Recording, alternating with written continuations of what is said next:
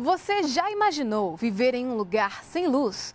15 milhões de brasileiros viviam assim realidade que mudou com a chegada do programa Luz para Todos. A partir de agora, você vai acompanhar histórias de gente que mudou de vida depois da chegada da energia elétrica. O programa foi prorrogado até 2014, atendendo o censo de 2010, que identificou outras 715 mil famílias sem energia.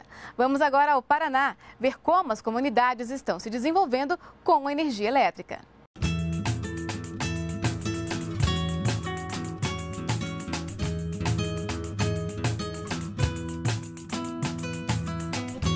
Comecemos a entender o valor que tinha a luz, né? Chegou a luz, melhorou 100%, né? 100%. Você não tinha uma geladeira, né? Ia tomar uma água, você tomava uma água quente.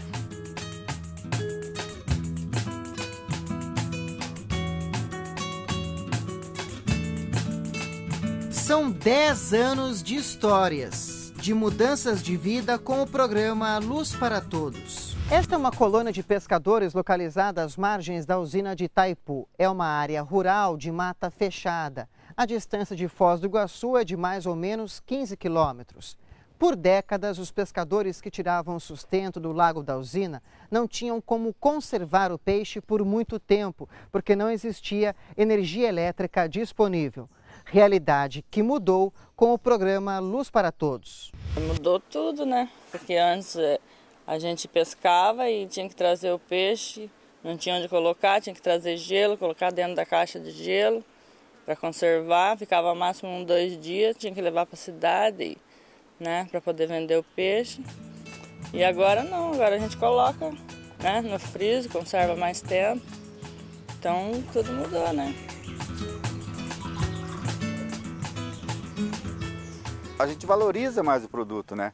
Porque quando nós pegava ele e não tinha como manter, teria que vender, meio dar de graça, tinha que se desfazer dele, né? Seria um pecado se tirar da água e deixar apodrecer.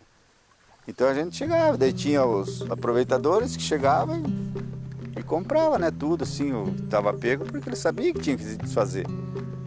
Você saía daqui para ir lá em Santa Terezinha levar o peixe, até ir, voltar, chegava lá, ninguém queria comprar porque sabia da estação que você tinha que vender. Quando você voltava, você perdia um, dois dias de pesca. E aí, pescador, o pescador tem a despesa, né? Tem algum filho que estuda, tem despesa dele, né? Mensal, então tem que pescar.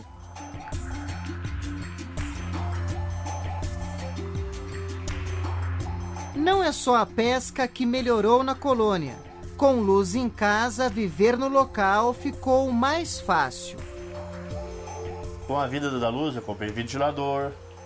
Aí, um outro mês, eu comprei, passou os tempos, eu comprei, comprei, eu não tinha televisão comprei uma televisão nova. Essa aqui eu comprei outra televisão que tem lá no quarto. Aí eu comprei, comprei máquina, a máquina de lavar, comprei a geladeira também. Esse ano está tá vindo agora.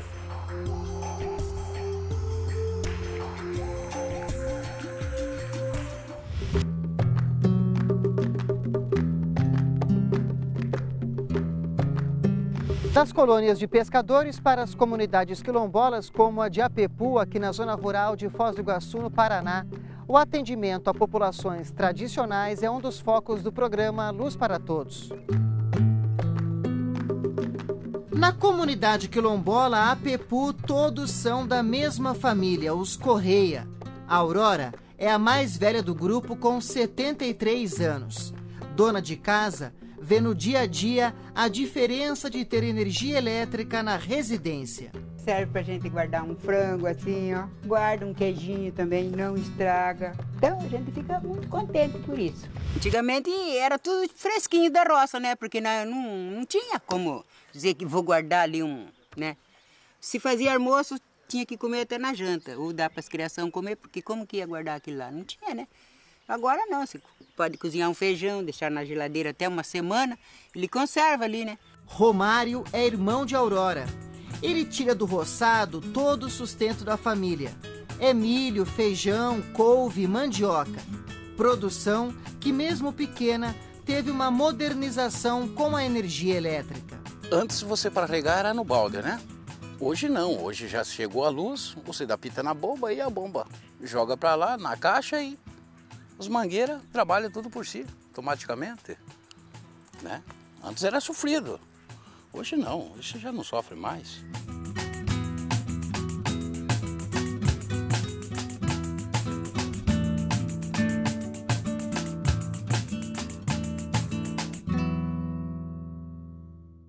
Agricultura, a chegada da energia elétrica transformou o dia a dia dos trabalhadores rurais. O fim do motor a diesel e a eletricidade trouxeram mais desenvolvimento, produção e economia.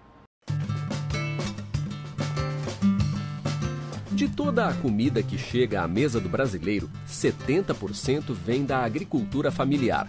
Para produzir todo esse alimento, os agricultores precisam de terra, equipamentos e água. E para irrigar a plantação, tem que ter uma fonte de energia. Ter energia elétrica, vou dizer com diesel, né? Com motores estacionários, motor a diesel. Só que para se conseguir, é, é, conseguir irrigar alguma coisa motor a diesel tem que ser muito grande. Então o consumo de diesel era uma coisa absurda, né? O preço que está óleo diesel hoje, você imagina um motor a diesel ficar aí ligado 10, 8 horas por dia, um motor de Scania, que a gente morava aqui com motor de Scania, né? Até 2003, 2 milhões de famílias no campo viviam sem energia elétrica. Tomar banho na água fria, mas agora tem aguinha quente. A gente tinha as vacas aqui, né? Nós estávamos construindo o barracão e as nossas vaquinhas já estavam aqui. Mas como nós não tinha uma, um congelador, nada aqui, nós tirava o leite, quando dava de descer com a caminhoneta, nós descia. Quando não dava, nós tínhamos que levar a pé nas costas e nós levava lá na, na sede onde nós estávamos, onde tinha o nosso congelador que tinha luz lá, né? A gente já tinha feito inscrição para o Luz no Campo, que na verdade era um programa do governo, mas que o proprietário tinha que pagar. O assentado, no caso, teria que pagar. É, a princípio, 30% já à vista e financiaria o restante. Os 70% seriam financiados, né? Mas a gente viu que muita gente nem acreditava nesse sonho porque não tinha condição de pagar. Nesta chácara, num assentamento na cidade goiana de Padre Bernardo, o programa Luz para Todos chegou em 2005.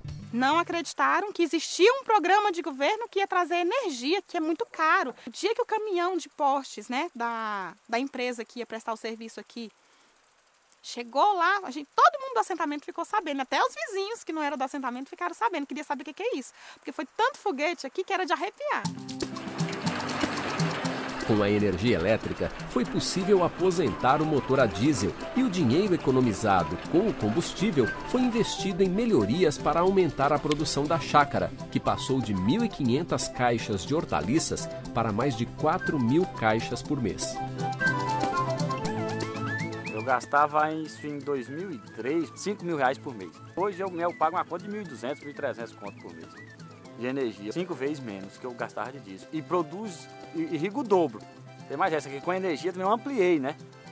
Eu fui podendo ampliar muito mais, com que eu fui diminuindo na questão do custo, do, então se baixa o custo, aumenta o lucro. Aumenta o lucro, o produtor acha que ganha mais se ele plantar mais. Né? Ele nunca acha que ganha mais se ele pôr o dinheiro no bolso, ele acha que tem que aumentar. Então a gente hoje planta acho que três vezes o que plantava antes. O casal de agricultores aposentados que mora em Matelândia, no Paraná, também comemorou a chegada do Luz para Todos. A eletricidade também levou conforto para dentro de casa. Nós temos freezer, temos é, é, forno elétrico, temos tudo. Máquina tele... lavar roupa, máquina, máquina lavar louça, é, televisão, rádio, tudo tudo ligado, tudo na luz. E, e são coisas que eu penso assim, pelo menos, para nós que já temos, somos idosos, são coisas necessárias. Além disso, nós temos coisas até um aparelho de gravação aí de música que também é tocado à luz.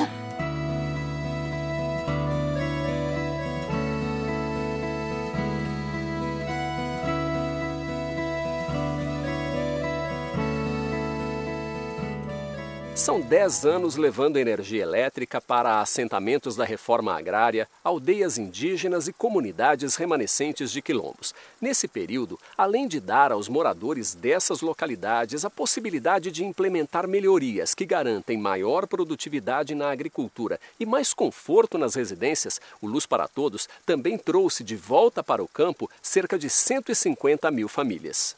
E quem hoje tem energia elétrica na zona rural não quer sair de lá. Chove na minha horta, como se diz, né? Na minha horta sempre chove. Olha aí, ó, tá chovendo.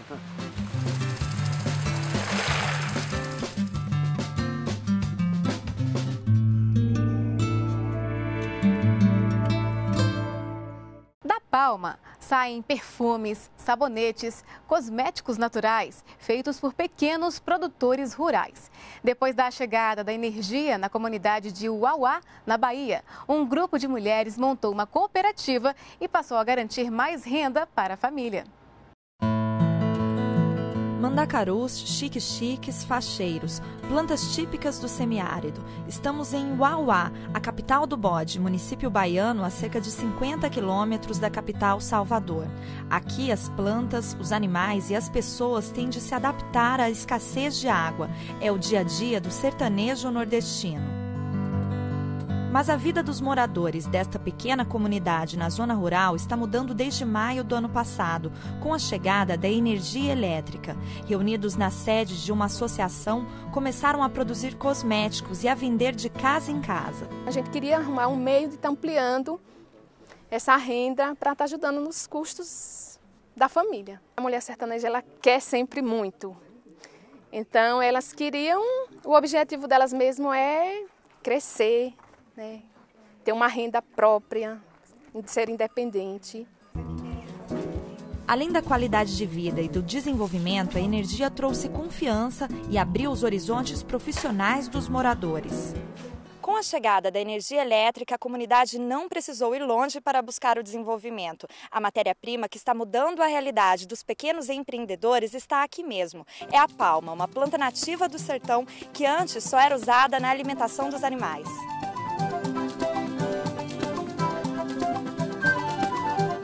Palma para a gente era só para os animais, né? Então hoje nós vemos que não só cosmético, mas outras coisas a gente pode produzir com essa matéria-prima que a gente tem aqui, né? Então o produto dos cosméticos veio como um presente de Deus. Maria conta que a ideia agora é continuar crescendo. Nós somos pequenos empreendedores, mas futuramente nós vamos ser uns grandes empresários, né? Marcelo, que sempre trabalhou fazendo bicos na roça, também está empolgado com o futuro. Quero, quero crescer mais, né? Junto com elas, a gente quer desenvolver nosso trabalho e mostrar para muitas pessoas que, que a gente tem capacidade de seguir em frente. Nós vamos começar pelo extrato que é o extrato à base do broto da palma. Você vai colher esse brotozinho. O projeto da comunidade já é usado como exemplo de sustentabilidade na própria região.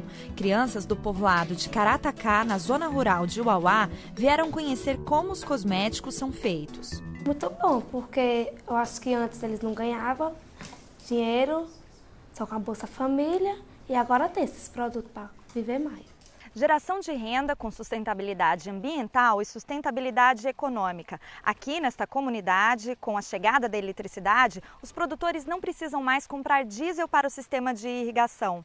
Mesmo no meio da seca e sem o custo do combustível, a plantação está dando certo. A gente não conseguia produzir de maneira alguma.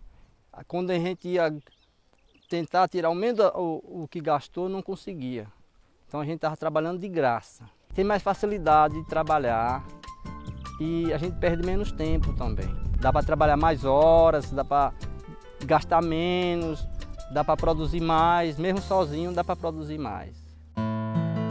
A eletricidade chegou em abril. Antes disso, não havia como plantar. José foi o único da família de cinco irmãos que não foi para São Paulo para fugir da seca.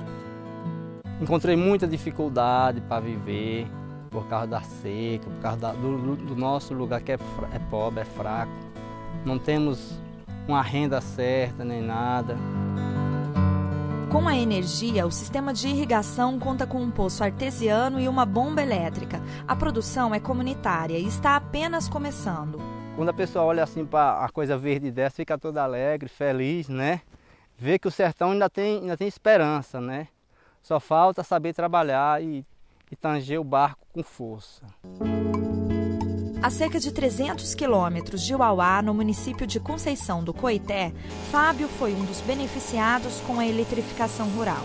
Como José, ele se fixou na roça graças à chegada da energia. A energia me deixou na zona rural, né? Porque se não fosse a energia, eu teria ido embora para a cidade, procurar um meio melhor de sobrevivência. Porque hoje eu vivo do que eu produzo aqui mas só vivo por causa, aqui por causa da energia, porque a energia foi quem facilitou todo o meu trabalho, toda a minha vida aqui na zona rural. Eu tenho 11 irmãos no total e com a dificuldade do trabalho na zona rural, sem energia, sem nada, a gente trabalhava só na roça, mas era uma vez ou outra, assim, dando um dia para os outros. A mãe de José, Dona Adélia, de 67 anos, lembra da tristeza de ver os filhos indo embora para a cidade em busca de uma vida melhor. Eu me lembro quando meus filhos iam sair daqui para Salvador, eu ficava morrendo de chorar. Aí, aí um dia estava passando uma música, quando os filhos crescem, vira, vira passo, cria asa e vão embora. Aí eu, eu vi essa música, chorava, que soltava morrer. Mas em 2005, Fábio pôde usar equipamentos elétricos, viu o lucro aumentar e investiu na criação. Melhorou muito, porque eu tive, eu tive comprar, comprei uma máquina para poder moer o milho e comprei um misturador para facilitar na mistura da ração, no preparo da ração. E além disso, eu pude ampliar meus galpões porque tinha energia para iluminar os frangos e a questão do tempo quente, eu poderia utilizar um ventilador para poder estar sempre deixando um ambiente mais agradável para o desenvolvimento do pinto. Fábio tem a granja há 10 anos. Antes da chegada da eletricidade, ele produzia 300 frangos por mês. Hoje, ele entrega mais de 5 mil frangos por mês aos supermercados da região. E a ideia é aumentar e diversificar os negócios. A gente produzir mais, começar a vender ração para os pequenos produtores, assim como a gente vende alguns porcos, que a gente tem alguns suínos também, a gente vendeu o suíno e vender a ração para os pequenos produtores aqui da região. E além disso, pretendo aumentar também a produção de frango e gerar emprego para as pessoas que moram aqui na nossa comunidade, na nossa região.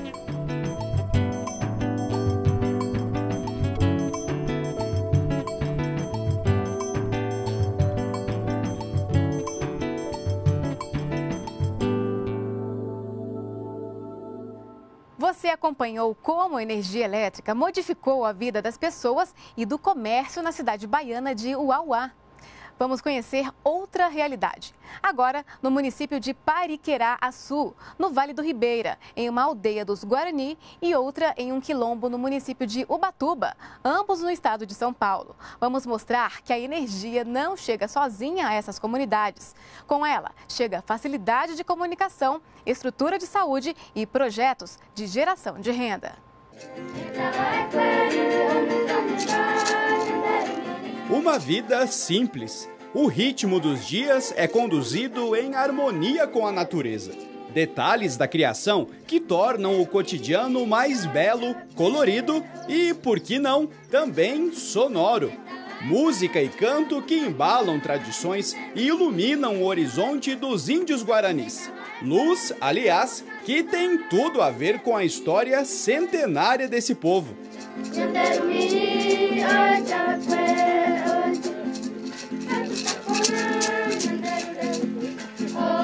Luz que sai dos olhos e chega às casas das 13 famílias que vivem nessa aldeia. Luz que vem da natureza e também da criatividade do homem. Desde 2008, a aldeia indígena Pindoti, que fica aqui no município paulista de Pariqueraçu, no Vale do Ribeira, conta com energia elétrica por meio do programa Luz para Todos. A escola e o posto de saúde, apesar de ainda estarem em prédios provisórios, oferecem serviços com melhor qualidade. João que o diga. Ele dá aula para uma turma multisseriada na escola da comunidade. E a chegada da energia facilitou a vida do professor. Sem energia a gente não conseguia acontecem aulas. Foi uma grande conquista para nós. Conquista que contribui e muito com a formação dos pequenos. No rosto e nos braços, sinais do orgulho de ser indígena. Aqui eles convivem com as línguas portuguesa e guarani. E na hora do intervalo, a merenda ficou reforçada. O coordenador técnico da FUNAI na região acredita que o povo da aldeia conseguiu assimilar a energia com a cultura tradicional. A escola tem um funcionamento melhor, né, uma, o posto de saúde, através dos seus equipamentos, uma energia, uma aula à noite aqui na escolinha. No dia a dia deles, ajudou bastante. O cacique Basílio concorda, não desgruda do celular. O aparelho se torna uma ponte que une a aldeia com outras tribos. Tem até comunidade em redes sociais. E o Natal desse ano já está sendo planejado no mundo virtual. Todos nós temos Facebook, então com isso a gente se comunica, a gente marca reunião. Hoje temos contato com o pessoal da Argentina, né? que também são os guaranis. Então já tivemos também, e com isso a gente viu que facilitou bastante. Com a energia elétrica também temos a máquina de lavar roupa, o fogão facilitou bastante também para que seja feita a comida. Para o coordenador do programa no estado de São Paulo, esses hábitos simples e corriqueiros fazem toda a diferença. O programa Luz para Todos registra dados é muito significativos de retorno de população que um dia precisou deixar a área rural e com a chegada da energia volta. A chegada da energia é, é um vetor de aplanamento das desigualdades sociais muito forte. Muito forte e é surpreendente como a energia faz falta para quem não tem. A noite cai na aldeia Pindoti e olha ela aí, luz que ilumina os guaranis e também outros povos tradicionais. E não são apenas os indígenas que saem ganhando com a chegada da luz. As populações quilombolas também contam com energia elétrica e os impactos do programa vão muito além do que lâmpadas acesas podem mostrar. E a energia também chegou ao núcleo Pissinguaba, que fica aqui no município de Ubatuba, no outro lado do estado de São Paulo, próximo à divisa com o Rio de Janeiro. São cerca de 300 quilombolas que, como a gente pode ver, não esqueceram as próprias raízes, mas queriam ter mais conforto no dia a dia. E a chegada da eletricidade ajudou a concretizar esse antigo desejo dos moradores. Esse era um sonho da comunidade desde sempre, né? Com a chegada da, da energia, nós já, já recebemos um telecentro com 12 computadores, é um meio de comunicação fantástico, a internet, né? E depois começou a vir os projetos. Aí a gente hoje é ponto de cultura, que é uma coisa bem bacana. Então a energia, ela veio para fazer diferença nas nossas vidas. E faz a diferença porque não chega sozinha. Traz inclusão e novos caminhos.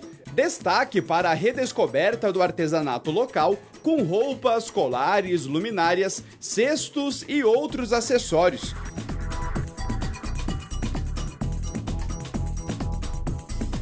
Na opinião da educadora, a energia pode servir para reivindicações da comunidade. Tem comunidades que a gente conhece que, com o uso do celular, fizeram filmagens de desmatamento e, com isso, conseguiram é, barrar o desmatamento das suas comunidades que estavam sendo desmatadas por fazendeiros.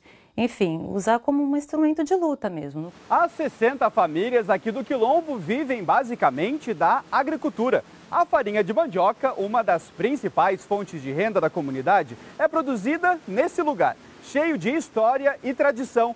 E mesmo quem teve uma vida inteira em meio à energia das águas, sente os benefícios da chegada da eletricidade. Estou aqui bem antes da, da, da, da deixada, então não tinha luz para lugar nenhum. Então, era tudo vela, tudo lamparina, era tudo querosene, então a gente labutou muito para para vir essa luz para cá. Eu acredito que se não fosse a luz para tudo, não tinha luz até agora. A energia também levou conexão com o mundo para a comunidade. O telecentro fica cheio durante todo o expediente. Joselino vai para casa, que fica logo ali, em frente. Mas a escuridão fica só no caminho. Em casa, tudo iluminado. Na sala de casa, Joselino conta que até pensou em ir embora da comunidade em busca de melhores condições de vida. Mas agora, isso nem passa mais pela cabeça. Nossa, minha vida com a energia elétrica melhorou muito. Quando eu queria assistir uma televisão, tinha que ir na casa do vizinho, que morava em outro lugar. E a noite também ficou bem melhor. Afinal, a luz só termina quando o dono da casa resolve ir dormir. E os desafios tecnológicos para fazer a energia elétrica chegar nas comunidades mais isoladas do Brasil? O destino agora é no Amazonas. A reportagem é de Isabela Azevedo. Lâmpadas, eletrodomésticos, computadores. Estava na luz o caminho para o desenvolvimento, mas esse trajeto parecia longo e escuro para quem vivia em pequenos povoados do Amazonas. Não tinha um, vamos dizer, uma televisão, você não podia ter uma geladeira, você não podia ter um ventilador. E agora com a luz solar, tem, a gente, antigamente usava essa bendita aqui, a lamparina, que era a nossa luz. De manhã a gente amanhecia tirando um tijolo do nariz, que é aquele pó preto do diesel. Levar a rede elétrica para ambientes urbanos envolve usinas, torres de transmissão, postes, cabos. É uma tarefa complicada e cara. Agora, imagine trazer a energia para um estado como esse, onde várias comunidades só são acessadas por meio de barco. O segredo está na tecnologia.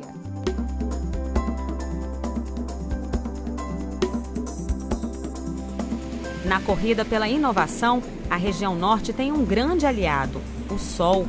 É dele que vem a energia para abastecer as casas das 10 famílias de Sobrado, a 200 quilômetros de Manaus. O povoado é uma das 12 comunidades que receberam um projeto de mini usinas fotovoltaicas. Aqui, a luz é captada por placas solares e transformada em energia. Seu José Roque mora sozinho nesta casa de madeira. O viúvo de 74 anos é técnico eletricista. Passou a vida trabalhando com energia para se ver aposentado em uma terra sem luz. Trabalhei em duas hidrelétricas grandes, trabalhei em Afonso, trabalhei em Furnas. Depois de ver estar tocado dentro do mato na base da lamparina, não é fácil. Antes da chegada da mini usina solar em 2011, a comunidade era abastecida durante três horas por dia com energia deste gerador a diesel, nem sempre confiável. Eu era responsável pelo gerador, o gerador é da comunidade. Então, quando dava nove horas, olha, eu vou desligar o gerador, dá aquele sinalzinho e tal, e ela desligava. A mini usina é autossuficiente, ou seja, ela não precisa de técnicos para operar os equipamentos. Na verdade, as informações sobre as placas solares são transmitidas via satélite para um centro de monitoramento lá em Manaus. Pelo sistema de monitoramento, nós sabemos o quanto está sendo gerado de energia, o quanto está sendo consumido e qual é a reserva técnica que a usina possui naquele momento. Mãe de três filhos, Dona Irlanda esperou com ansiedade pela chegada da energia elétrica. Hoje, a casa dela tem trilha sonora. Escuta o som, se quiser escutar o dia todinho, a gente escuta o dia todinho. Televisão a gente assiste também, se for a noite todinha. Assiste o que a gente quer agora. E com a energia elétrica vieram outros benefícios, como melhorias na educação. Para mim, eu acho que é melhor do que na cidade. Na cidade eu nunca trabalhei com a internet, só com os livros. A tecnologia usada para criar redes elétricas não é exclusiva de grandes centros urbanos. A energia é de cada brasileiro. A luz tem que ser para todos. Quando a gente lançou esse projeto, vinha várias empresas internacionais, grandes multinacionais, e perguntavam para a gente: nossa, você vai colocar uma usina solar no meio da Amazônia para atender 10 casas, 14 casas? Por quê? Ele é um consumidor que tem os mesmos deveres, obrigações e direitos né, de um consumidor que está na área urbana. Isso perante a ANEL, que é o órgão que regulamenta o setor elétrico no Brasil. Você mudou da água para o vinho, né? Que você calcula que é dar seis horas, se levantar a lamparina, não chegar daqui dois metros para frente. Você... Agora você liga uma lâmpada dessa, clareia a sala toda.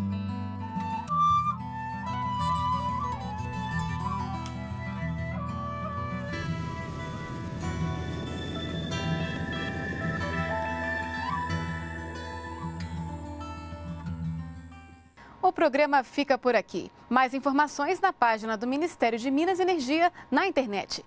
Continue com a gente na NBR, a TV do Governo Federal.